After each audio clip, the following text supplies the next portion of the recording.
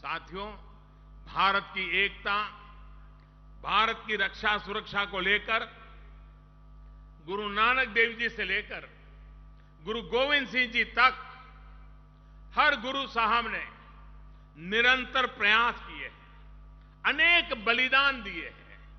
इसी परंपरा को आज़ादी की लड़ाई और आज़ाद भारत की रक्षा में सिख साथियों ने पूरी शक्ति से निभाया है।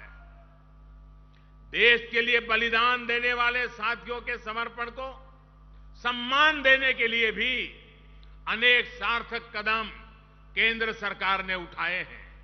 इसी साल जलियावाला बाग हत्याकांड के 100 वर्ष पूरे हुए हैं। इससे जुड़े स्मारक को आधुनिक बनाया जा रहा है।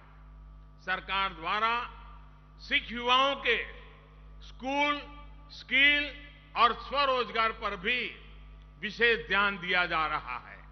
बीते पाँच वर्ष में करीब 27 लाख सिख स्टूडेंट्स को अलग अलग स्कॉलरशिप दी गई है।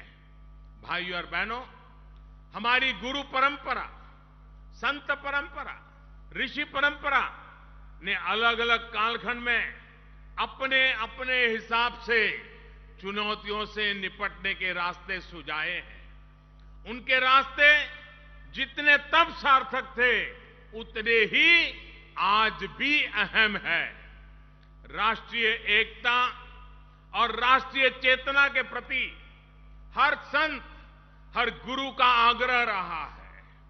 अंधविश्वास हो, समाज की कुरीतियाँ हो, जाति भेद हो, इसके विरुद्ध हमारे इन संतों ने, गुरुओं ने मजबूती से आवाज़ बुलंद की है।